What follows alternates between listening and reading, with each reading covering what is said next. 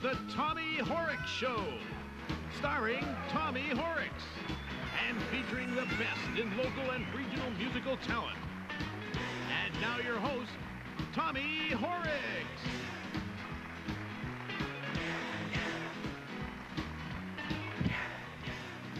Hi, folks, and welcome to another show. We're going to start off with a little bit of humor for you this week. We've got a very accomplished musician and vocalist, and he does a little bit of everything in the music business. Not only that, he's a good friend of mine. His name is Robert Gunn. And even though I get to start this tune, he's going to do a number for you that was the Frankie Valli style. It's a number called Bread and Butter. Take it away, Robert.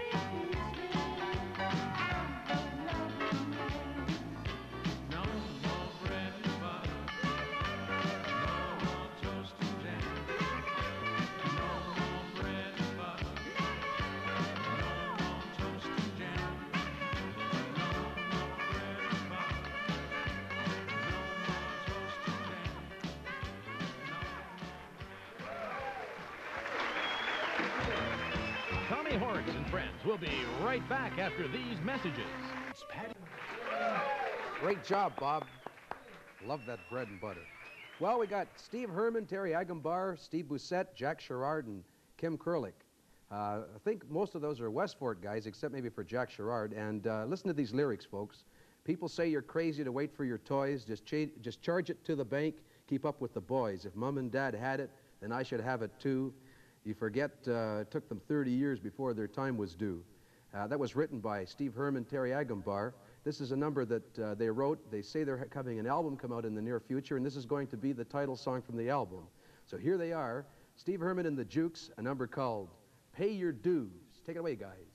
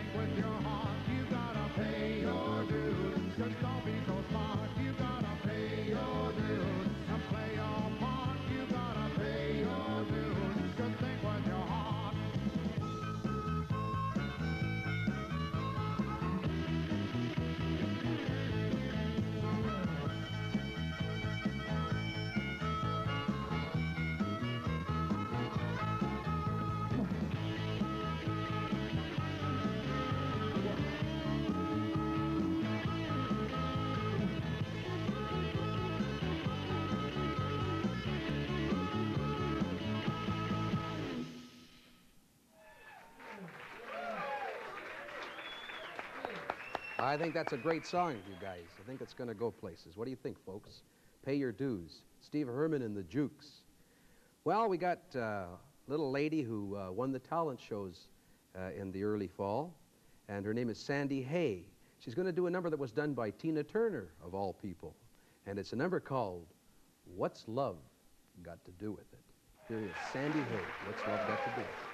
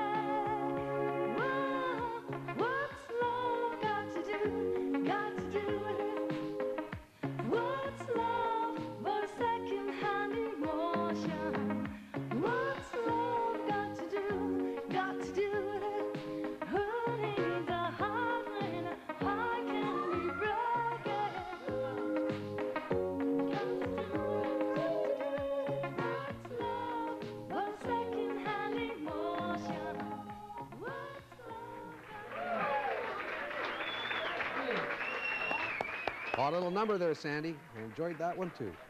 Well, we're a happy crew here today. Rob's got his girlfriend back again. Everybody's sending in recipes for uh, for Norm and Margaret, and Norm's not wasting away anymore, excepting that whoever sent in the recipe about broccoli, Norm will not eat broccoli, and uh, that's unfortunate. So Margaret's trying. Uh, my good buddy over there, Philip Aylward, he just got a brand new Takamine guitar, and he's really happy. How you doing, Phil? Super, Tom. Take it away. Take it away.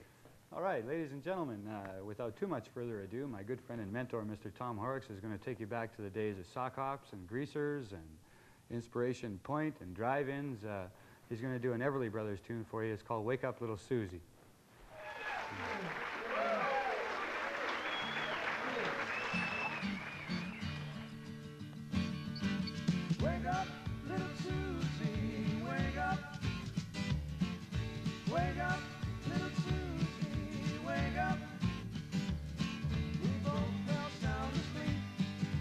up, little Susie, and weep.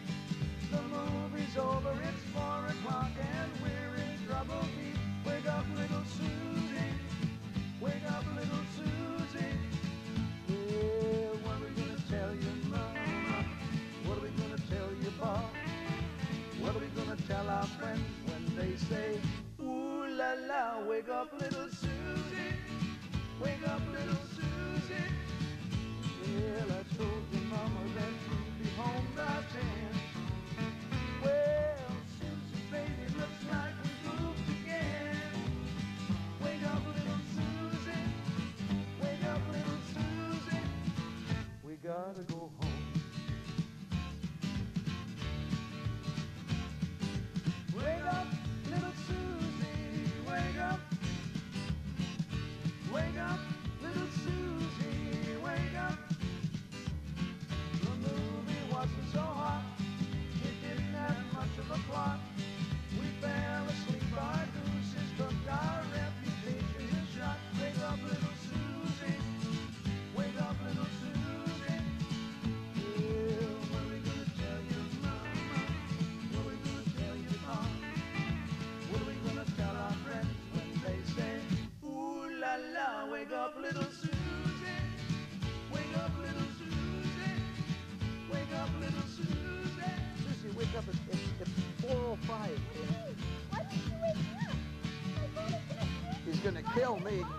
Kill me.